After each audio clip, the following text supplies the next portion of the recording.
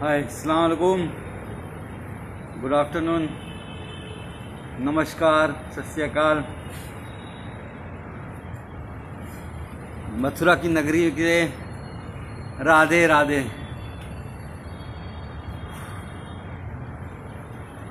आठ महीने आठ महीने का टॉर्चर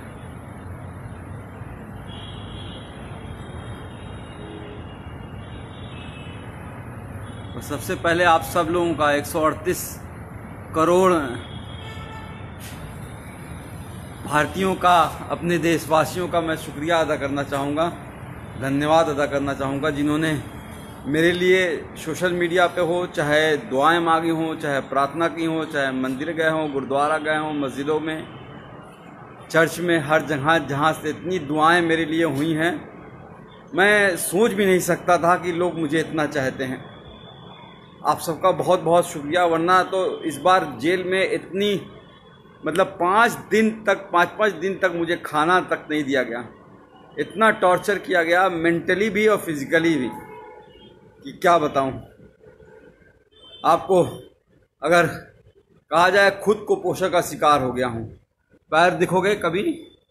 अभी दिखाता हूँ तो ऐसा लगेगा कि मतलब लकड़ी हो गया है। पर निकल आया बाहर। और जुडिशरी का बहुत शुक्रगुजार हूँ। जुडिशरी ने एक बहुत अच्छा डिसीज़न दिया है। वो मेरा ऑर्डर ले आना।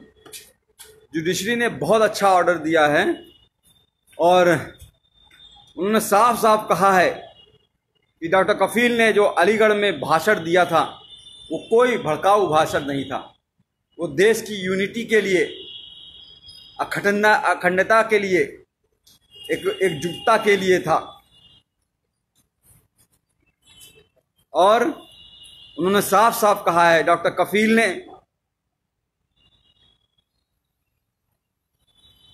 हेल्थ पे बात की है, एम्प्लॉयमेंट पे बात की है, एजुकेशन पे बात की है, रोटी, कपड़ा, मकान पे बात की है।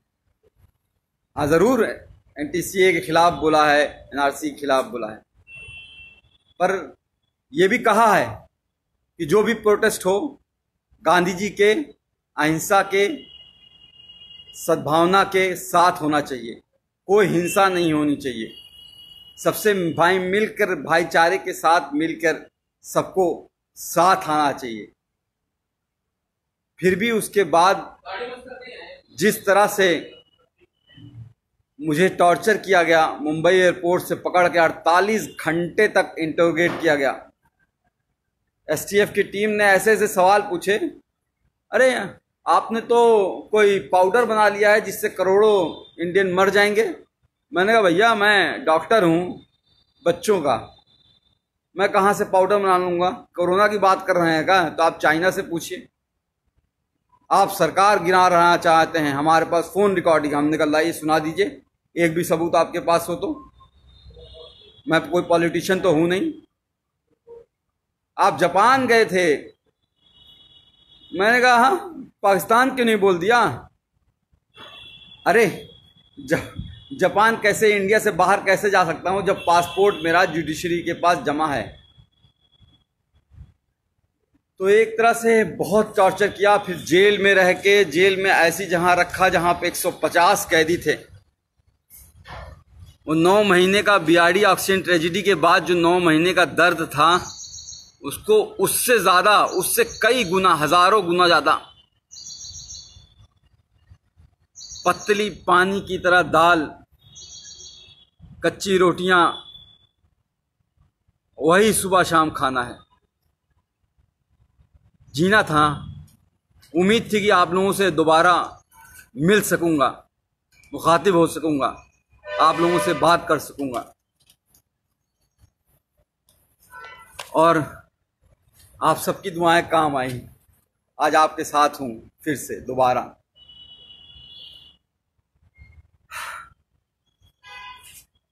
हाँ आसिफ भाई, तनवीर भाई अलकुम मथुरा की नगरी, कृष्ण जी की पवित्र नगरी में रह के बहुत कुछ सीखा कि किस तरह से भगवान कृष्ण ने कहा है कि कभी भी किसी को धोखा नहीं देना। अपना दिल साफ़ रखना, यही धर्म होता है। और हम लोग रामायण देखते थे, नौ बजे से दस बजे तक हर रोज़ आता था लॉकडाउन के टाइम भी। तो उसमें भी जो उत्तर रामायण में महर्षि वाल्मीकि जी ने श्री रामचंद्र जी को जब एक बात कही थी जब उन्होंने धनुष उठा लिया श्री लवकुश के खिलाफ ही तो उन्होंने कहा था कि राजा का धर्म राजधर्म होता है। राजहट नहीं, पर यहाँ तो राजा मेरा बाल हट पे आ गया। बच्चों की जान बचाने की कितनी बड़ी सजा दोगे भाई? क्या बच्चों को जान बचाना इतना बड़ा गुनाह हो गया था? सारी लोग फ़ोन कर रहे हैं। फ़ोन नहीं कीजिए, कोई भाई मैं कुछ देर बात कर लूँ, बहुत दिनों बाद, आठ महीने बाद आपसे राकेश चौधरी साहब थे शुक्रिया। वैभव पाठक, थैंक यू यार, थैंक यू। इरफान खान साहब Islam I love you too तो मैं ये कह रहा था कि महर्षि वाल्मीकि जी ने श्री रामचंद्र जी से कहा कि बाल हट, मत करो। इस तरह से प्रताड़ना देना, नौ महीने उस वक्त जेल रखना, फिर बहराइच वाले कांड में भी दो महीने जेल रखना फिर आठ महीने इतना टॉर्चर कराना, जेल में बार बार सिर्फ़ यही कहा जा रहा था कि तुम उन सत्तर बच्चों की बात नहीं करोगे। जो सत्तर बच्चे ऑक्सीजन की कमी से मर गए हैं, उनकी कभी बात नहीं करोगे। उनको भूल जाओ। कैसे भूल जाऊँ? अपने सामने मरते हुए उनको देखा है। कोरोना के टाइम जब इस भारत में, इंडिया में कोरोना ने एंट्री नहीं की थी 27 जनवरी को मैंने वीडियो डाला था कोरोना पे लेके। और उस वक्त मैंने साफ़ साफ़ कहा, बताया था क्या करना है, क्या नहीं करना है, कैसे इससे बचना है। और 30 जनवरी को पहला केस इंडिया में आया। मैंने माननीय प्रधानमंत्री नरेंद्र मोदी जी को 19 मार्च को ही एक लेटर जेल से सुप्रिंटेंडेंट जी के द्वारा भिजवाया और उसमें साफ़ कहा कि हम कम्युनिटी ट्रांसमिशन से बच नहीं सकते हमारा भारत देश ऐसा है, क्योंकि मैंने पूरा भारत घूमा है, कितनी गरीबी है, एक एक घर में चार चार लोग कैसे रहते हैं, एक पूरी झुग्गी झोपड़ी बस्ती होती है, हज़ारों लोग उसी में रहते हैं। जैदू भाई जी तो उसमें रहते हैं, वो कैसे रहते हैं? वो कैसे दूरी, दो गज की दूरी रहो कह देना आसान होता है, पर वो इतना आसान नहीं है गरीबों के लिए। कितने माइग्रेंट बेचारे चलते चलते गए। ट्रेनों में दब गए। गरीबी कितनी है? आज क्या हालत हो गई है हमारे देश की? कोरोना वायरस इस तरह से फैल चुका है कि हम दुनिया के दूसरे नंबर पे पहुँचने वाले हैं, ब्राज़ील को भी छोड़ देंगे। श्री नरेंद्र मोदी के जी के दोस्त ट्रंप साहब और ये इंडिया फ़र्स्ट और सेकंड नंबर पे रह गया है। अड़तालीस लाख कोरोना वायरस केस हो चुके हैं और साठ हज़ार से ज़्यादा मौतें हो चुकी हैं। बहुत कुछ करना चाहता था इस कोरोना वायरस के लिए। आठ महीने में शायद बहुत कुछ कर सकता था, पर करने नहीं दिया गया। जेल में जानबूझ के मुझे इस तरह से रखा गया कि मतलब समझ लीजिए कि टॉयलेट करने के लिए आधे आधे घंटे के लिए लाइन लगानी पड़ती थी। नहाने के लिए आधे आधे घंटे के लिए लाइन लगानी पड़ती थी। गर्मी इतनी हो जाती थी कि कपड़ा पहन के, पूरा नहा के, पूरा बिस्तर बिछा के, बिस्तर को भी भिगा देता था, तब जाके लेटता था। और वो डेढ़ डेढ़ सौ लोग, पाँच सौ चौंतीस लोगों की रहने की जगह है वो। लेकिन सोलह सौ कैदी थे। अब बताइए वहाँ पे कैसे सोशल डिस्टेंसिंग हो जाएगी? वो ख्वाब था। लोगों की साँसें, लोगों की बदबुआ, लोगों की मतलब पेशाब की महक, और एक टॉयलेट होता था 150 लोगों के बीच एक टॉयलेट किस तरह से ज़िंदगी गुजरी है, और एक बात बता दूँ, सिर्फ़ मैं नहीं सफ़र किया हूँ पूरी फैमिली को हरास किया है। पूरी पूरी फैमिली को जिस तरह से प्रताड़ित किया गया है, उसका कोई बयान नहीं है। गोपाल दीक्षित जी, शेखर जी मैं हाइस कर रहा हूँ, अपनी सेहत अब तो कुछ बनाऊँगा। वहाँ तो पतली दाल से ज़िंदगी बस चलानी थी। तो मेरी बच्ची मेरा बच्चा जो ग्यारह महीने का था जब चल नहीं पाता था तो, तो उसे छोड़ गया था। आज चलता है दौड़ता है बोलता है। पिछली बार भी जब बीआरडी में सत्तर बच्चे मरे थे और उस वक्त भी बिना बात के झूठ केस में फंसा के जेल भेज दिया गया। और जब नौ महीने बाद हाई कोर्ट ने कहा कि अरे डॉक्टर कफील की कोई गलती नहीं थी। इंक्वायरी रिपोर्ट में आ गया, अरे डॉक्टर कफील की कोई गलती नहीं थी। तो भी जब बाहर आया तो मैंने अपनी बच्ची को चलते हुए देखा। उस वक्त भी अपनी बच्ची जब वो, को छोड़ के गया था, तब तो भी वो ग्यारह महीने की थी। चल नहीं पा रही थी। और बड़ी हो गई थी।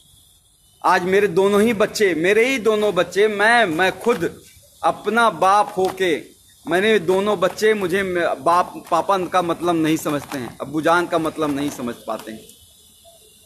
पिताजी का मतलब नहीं समझ पाते हैं। ये दर्द है। मेरी माँ पैंसठ साल की बूढ़ी होके हाई कोर्ट और सुप्रीम कोर्ट के चक्कर लगाती रही। तब जाके ये जीत हुई है। और जुडिशरी ने इतना अच्छा ऑर्डर किया है। एक बात और करा दूँ। एसटीएफ का शुक्रगुजार हूँ कि उन्होंने मुंबई से मथुरा लाते वक्त मेरा इनकाउंटर नहीं कर दिया विकास दुबे की तरह। वरना तो शायद वो मुझे मार ही देते। लोगों की आवाज़ को दबाना ही इनका काम है। बहरहाल, ऑर्डर आपको पढ़ के सुनाना चाहूँगा। इतना अच्छा ऑर्डर गोविंद माथुर साहब ने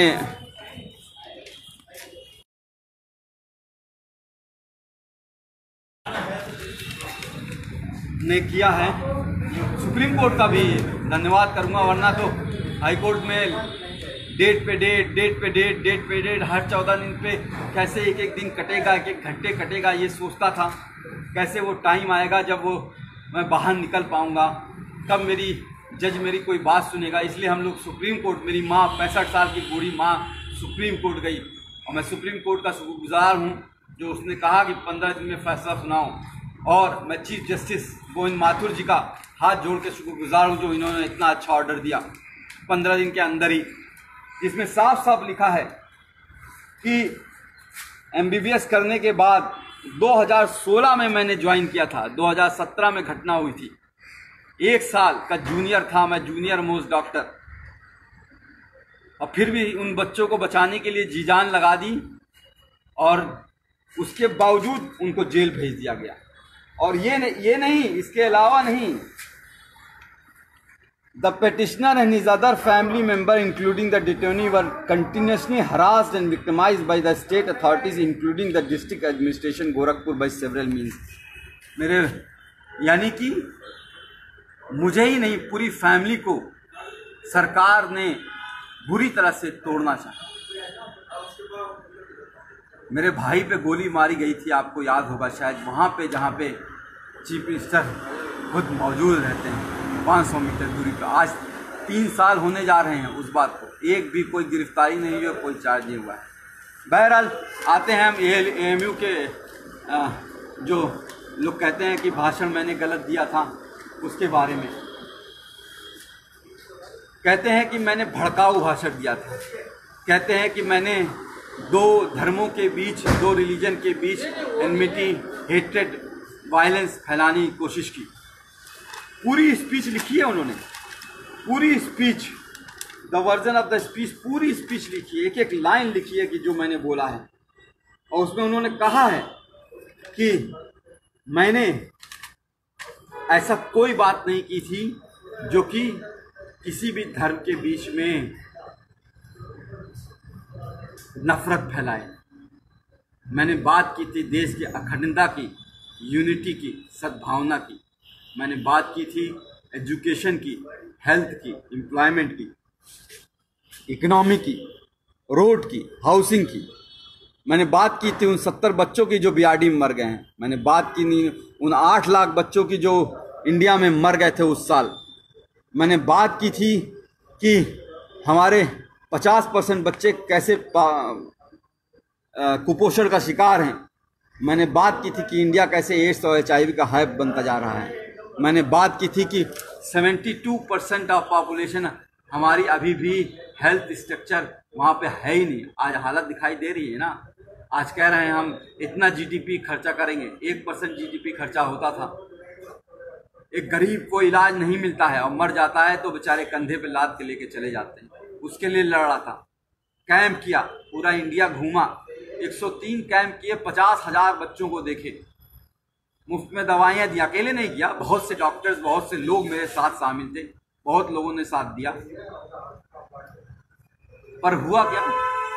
उसको भी दबा दिया गया। इस कोरोना टाइम के मैं जब रियली काम कर सकता था, शायद कोई नई दवा खोज सकता था कोरोना के खिलाफ, शायद कोई नई वैक्सीन खोज सकता था, टीका खोज सकता था, उस वक्त जेल में डाला। बहरहाल बाहर आ गया हूँ, कोशिश करूँगा। और फिर से मुख्यमंत्री योगी आदित्यनाथ जी से निवेदन करूँगा कि मुझे नौकरी पे वापस ले लें। तीन साल से सस्पेंड किए हुए हैं। कैसे ज़िंदगी चल रही है, कैसे फाइनेंशियल कंडीशन है, आपको बता नहीं सकता।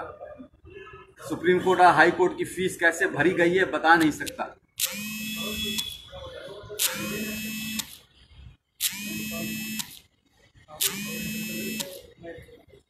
पर लड़ा। कहते हैं ना, इस जुल्म की दौर में जुबा कहते हैं ना कि इस जुल्म के दौर में जुबा खोलेगा कौन? अगर हम भी चुप रहेंगे तो बोलेगा कौन? तो बोलना ज़रूरी है, किसी न किसी को कुर्बानी देनी होगी। और शायद ऊपर वाले ने मुझे चुना है। बहरहाल, बाहर आ गया हूँ। कोशिश करूँगा कि सबसे पहले बिहार आसाम केरल, कर्नाटका, तमिलनाडु, जहाँ पे बाढ़ आई हुई है। बाढ़ बाढ़ से तो एक बहुत बड़ा नुकसान होता है। घर डूब जाते हैं, घर टूट जाते हैं, लोग बिखर जाते हैं। लेकिन सबसे ज़्यादा नुकसान तब होता है जब बाढ़ का पानी चला जाता है। पिछली बार हम लोग केरल और असम और बिहार में हम लोगों ने बहुत काम किया था और इस बार भी काम करना चाहूँगा, क्योंकि बाढ़ का पानी बीतने के बाद बहुत सी बीमारियाँ आती हैं, महामारी आती है। Chicken malaria dengue, cholera skin disease चमड़ी की बीमारियाँ, आँखों की बीमारियाँ, कान बहना बहुत होता है। उस पर काम करना चाहूँगा। कोरोना वारियर वारियर की तरह काम करना चाहूँगा। कोशिश करूँगा, अगर योगी जी की कृपा होगी नौकरी अगर वापस मिल गई तो किसी हॉस्पिटल से अटैच होकर रिसर्च करूँ और कोशिश करूँ कि कोई नई दवा ईजाद हो पाए जिससे हमारा देश की और किसी की मौत ना हो। बढ़ता जा रहा, हर रोज हज़ार लोग मर रहे हैं। एक का भी मरना बहुत खतरनाक बात है। जिसके घर में, परिवार में एक मौत होती है, वही वो जानता है। एक भी मौत होती है। और यहाँ तो सब साठ पैंसठ हज़ार लोग मर चुके हैं। उस पर काम करना चाहूँगा। और अगर वैक्सीन के लिए कहेंगे कि मैं गिनी पिक बन जाऊँ, मेरे ऊपर रिसर्च हो जाए, मैं खुद टीका लगवा लूँगा। अपने आप को वॉल्टियर करूँगा मैं। ये मेरी नई योजना है। अभी कुछ दिन अपने बच्चों के साथ रहना चाहता हूँ। अभी तक मिल नहीं पाया हूँ। कल भी आप सोच लीजिए, कल साढ़े ग्यारह बजे डिस्ट्रिक्ट जेल मथुरा में ऑर्डर पहुँच गया था हाई कोर्ट का। डीएम अलीगढ़ को हाई कोर्ट का ऑर्डर मिल गया था, लेकिन फिर भी 12 घंटे तक ये लोग यही कोशिश करते रहे कि किसी तरह से कोई और केस में फंसा दें। जैसे इन्होंने पिछली बार अलीगढ़ में जब मुझे गिरफ़्तार किया था मुंबई से तो जब मुझे बेल 10 फरवरी को मिल गई थी तो चार दिन तक, चार दिन तक कोर्ट के आदेश के दो दो बार आदेश के बावजूद छोड़ा नहीं मुझे। इलीगली मुझे डिटेन करके रखा और फिर एनएसए लगा दी। एनएसए मतलब नेशनल सिक्योरिटी एक्ट मैं टेररिस्ट हूँ क्या? दाढ़ी ये जो बढ़ जाती है, जेल में बढ़ जाती है। आज तक कभी आपने सुना है मैं किसी हिंदू, मुस्लिम, सिख, ईसाई या किसी में धर्म के भेदभाव में करता हूँ? पचास हज़ार जो बच्चों को देखा, पूछा, कोई कौन गरीब है, कौन अमीर है, कौन किस जाति का है, कौन किस धर्म का है? उस पर इल्ज़ाम लगाओगे? इल्ज़ाम वो लगाते हैं जिनका खुद का दिमाग गंदा होता है, जो भरा होता है। गंदगी से, वो दिमाग, वो लगाते हैं।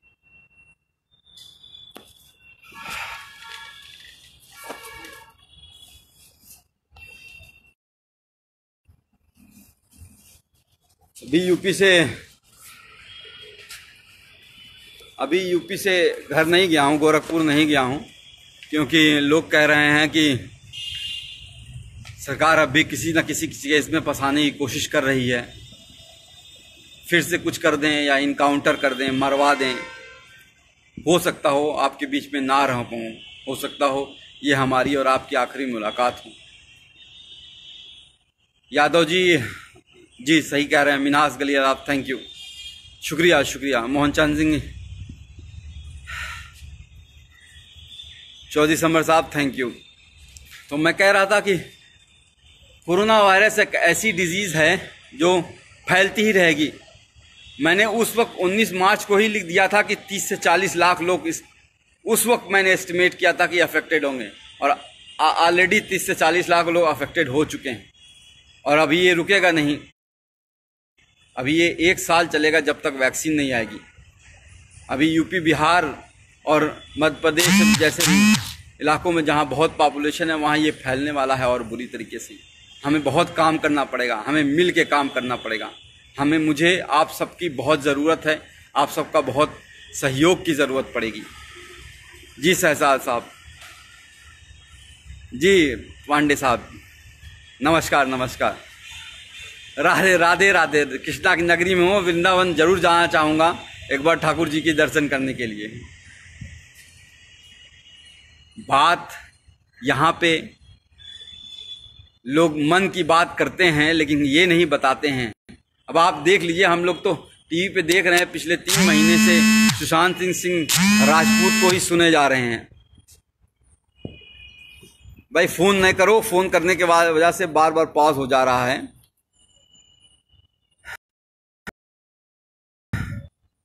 सुशांत सिंह राजपूत की तीन महीने से लगातार टीवी पे बात किए जा रहे हैं। मन की लेकिन कोई ये नहीं बात कर रहा है कि हमारा जीडीपी कल कल कल जी, परसों जीडीपी शायद रिलीज़ हुआ है और हमारा जीडीपी जो है, भाई फ़ोन नहीं करो मैं कह रहा हूँ, पर ईश्वर चंद साहब, कोई फ़ोन ना कीजिए, प्लीज़, कुछ बहुत दिनों बाद आप लोगों से मिला हूँ, आप लोगों के चेहरे दिखाई दे रहे हैं मुझे। शमसुल मलिक साहब, नूर खान, रेहान खान साहब आदित्य राज साहब आफ्ताब तो आप सबसे बात करना चाहूँगा फ़ोन ना करें। तो मैं कह रहा था कि जो मेन बातें हैं टीवी पे डिबेट जो होती है वो नहीं हो रही है। शायद कुछ टीवी एनडी टीवी है या आपका मिरन नाउ है टाइम्स नाउ है या फिर आ, इंडिया टुडे है इस सब पे हो रही होगी। पर जो यहाँ पे बातें हो रही हैं वो ये नहीं हो रही हैं किस तरह से माइग्रेंट हमारे करोड़ों लोग किस तरह से पैदल चले और चलते चलते मर गए, उस धूप में, कड़ी धूप में मर गए। ये बात नहीं हो रही है कि अनएम्प्लॉयमेंट कितना बढ़ गया है। लोगों को नौकरियाँ नहीं है, लोगों को खाने को नहीं है। पाँच सौ रुपया आपके अकाउंट में डाल दिया गया है, अब आपको तीन महीने तक पाँच सौ रुपया चलाइए। पाँच किलो चावल दे दिया गया है, आप पूरी आठ आठ लोगों की फैमिली है, खाते रहिए तीन छः महीने तक।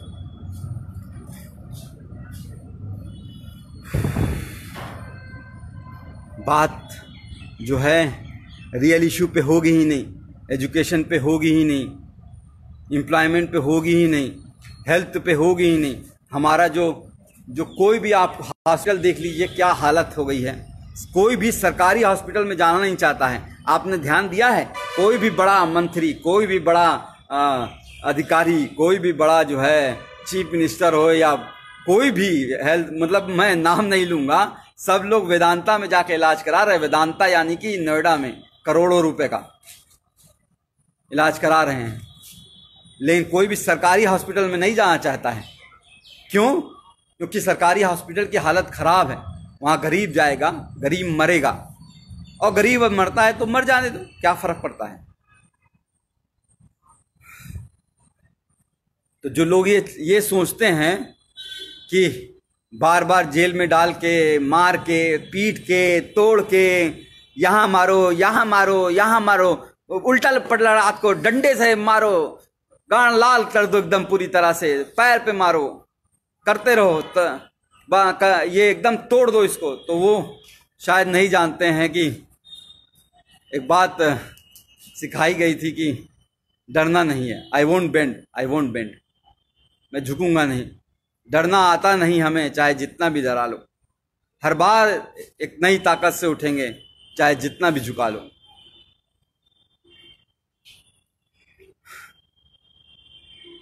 कहते हैं ना कि लोग हमें दुश्मन जहाँ कहते हैं। अरे हम इस मुल्क की मिट्टी को भी अपनी माँ कहते हैं। उसको तुम जो है, उस पर एन लगा देते हो। हैं? कोर्ट ने कहा है, कोर्ट ने कहा है कि जो कुछ है यह अवैध एनएसए लगा है। सारा अवैध लगा है। देखो कि क्या हालत बनाई है। बट्टी साहब, आप बोल रहे हो तो देखो क्या हालत बना दी है। मैं कुपोषण के लिए वो कर रहा था। ये देखो। ये टांगे हैं मेरी। ये हाथ है। खाना जो है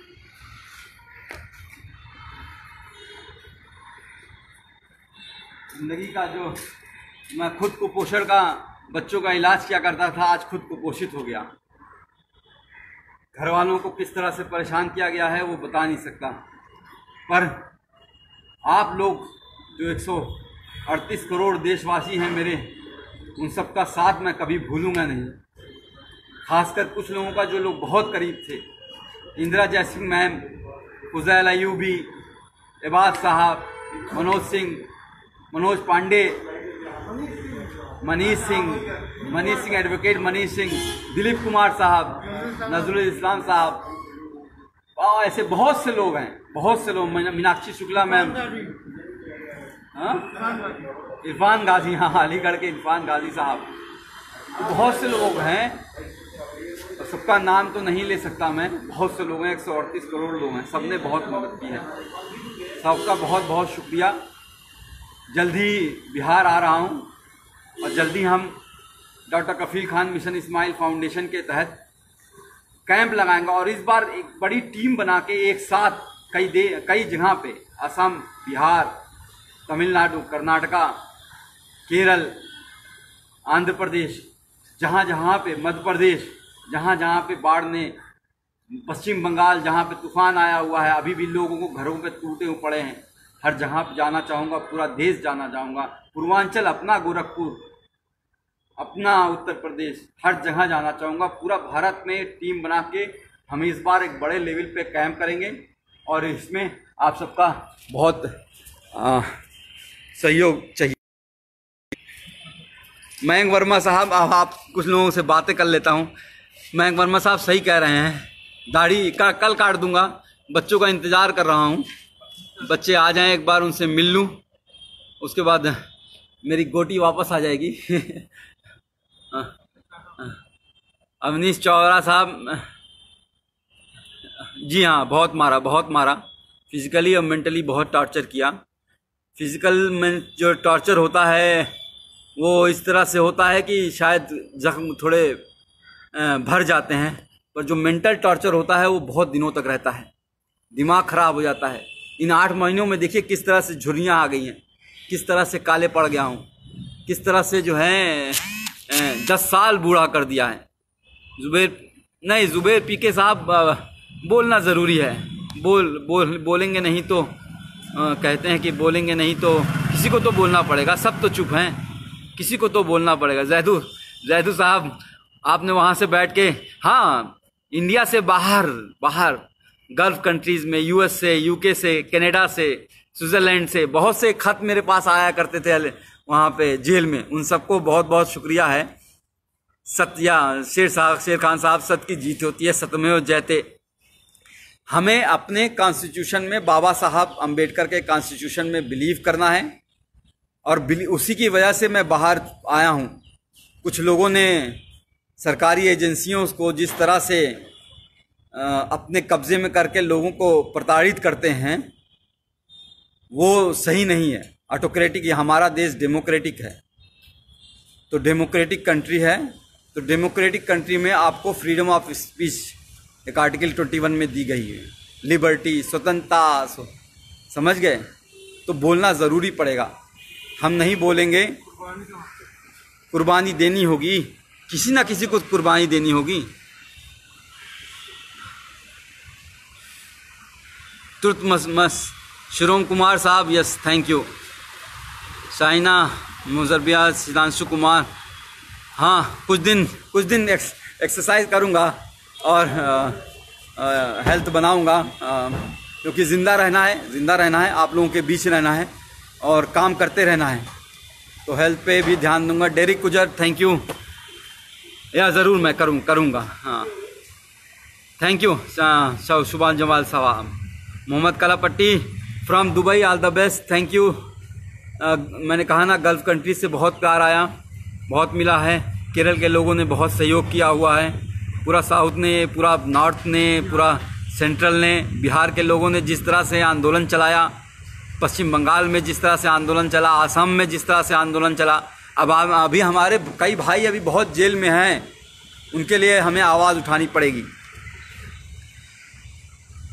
मैं बच्चों के साथ नहीं हूँ। चूँकि कल रात में आ, पुलिस की घेराबंदी हो रही थी और कुछ और बातें हो रही थी जिसको हम डिस्कस नहीं कर सकते हैं। तो इस वजह से अभी अभी बच्चे मेरे पास पहुँचे नहीं हैं। मैं अभी अपने बच्चों को देख नहीं पाया हूँ। आँखें तरस रही हैं। गले मिलना चाहता हूँ अपने बच्चों के साथ। अपनी माँ की गोद में लेट के रोना चाहता हूँ। रोना चाहता हूँ सीरियसली रोना चाहता हूँ। तब जिस तरह से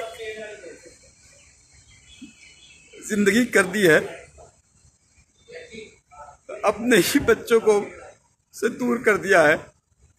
एक बार उनसे मिलना चाहता हूँ। एक बार एक बार एक बार माँ की गोद में लेट के सोना चाहता हूँ, सुकून की नींद सोना चाहता हूँ। यार, पता है, जेल में क्या होता था? आठ दो घंटे पे पहरा लगता था। हाँ साहब, भी एक सौ छियालीस कैदी नसर नमहबंदी सकुशल हैं। छह बजे सुबह, पाँच बजे सुबह लाइन लगाओ, परेड लगाओ। आठ महीने तो मैंने अभी चार पन्ने के लेटर में शायद लिखी आप लोग को शायद। मिलना होगा, चंद मित्रा साहब। थैंक यू मुदस्सी साहब, बुशरा, दीपक जादव, अमजद, पंडित जी, तैयब खान, रोहित शुभम, जयप्रकाश चाचा, ब्रजेश ब्रजेश सिंह की बड़ी याद आई जो गोरखपुर में थे। योगेश सिंह जी, सब आप लोग का, सब लोग का बहुत बहुत धन्यवाद है। कुछ और पूछना चाहेंगे कि फिर मिलेंगे। बहुत बहुत शुक्रिया। आप सबका आज़म खां, आपको भी फूल, गुलाब का फूल। आप, एक बात लास्ट में बस यही कहना चाहूँगा कि आप सबकी वजह से ही, आप सबकी मेरी फैमिली तो दौड़ी मेरी माँ, बूढ़ी माँ लोअर कोर्ट से लेके मतलब अलीगढ़ कोर्ट से लेके इलाहाबाद कोर्ट और फिर दिल्ली, इस कोरोना वायरस के टाइम में पैंसठ साल की उम्र में घूम रही थी एक वकील के पास से दूसरे वकील के पास, पैर पकड़ के रो रही थी कि किस तरह से मैं बाहर आ जाऊँ। तो उनका तो है ही योगदान भाई बहनों का तो योगदान है ही। आप सबका ही बहुत बहुत योगदान है। आप सबके बिना शायद जो ट्विटर में मैंने सुना, बारह लाख लोग एक बात हो गए हैं। ट्विटर अकाउंट मेरा बैन किया हुआ है doctor D R K F double L Khan करके है। उसको बैन किया हुआ, उसके लिए आवाज़ आपको उठानी पड़ेगी। ट्विटर अकाउंट क्यों बैन किया है? ऐसा क्या कर दिया था? अब तो हाई कोर्ट का ऑर्डर आ गया, जिसमें बार साफ़ साफ़ कहा गया है कि जय या जी, सन्नी प्रजाति कि ये इलीगल था। Justice prevail yes Amit Sohail साहब। मोहम्मद गयूर का कही दिनेश कुमार यादव जी, कुछ दिन अपने परिवार के साथ रहिएगा। मीडिया से दूर रहूँगा। जी जी जी जी जी, ज़रूर ज़रूर। राकेश चौधरी साहब thank you Adil thank you आप सबका बहुत बहुत शुक्रिया। बस अपनी फैमिली का इंतज़ार कर रहा हूँ। शायद कुछ घंटों में उनसे मिलूँगा। और कुछ दिनों में ही आपके सामने नए जोश में, नए जोश के साथ फिर से सामने आऊँगा आपके साथ।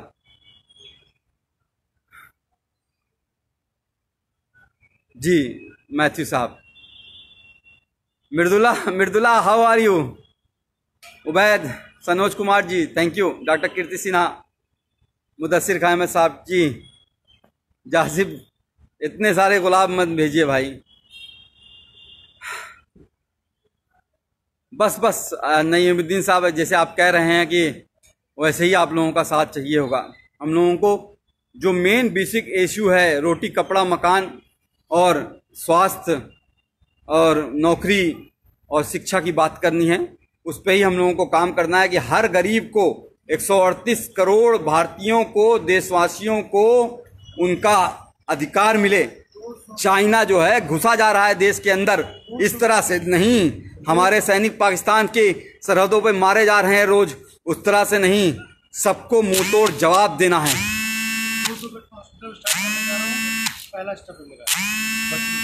पिछली बार मैंने जो है इंकेफ्लाइटिस बेड का एक हॉस्पिटल 500 बेड का इंकेफ्लाइटिस बेड का स्टार्ट करने वाला था उस वक्त। डॉक्टर कफील खान मिशाइन मिशन इस्माइल फाउंडेशन के हिसाब उससे फिर से कोशिश करूँगा स्टार्ट करूँ।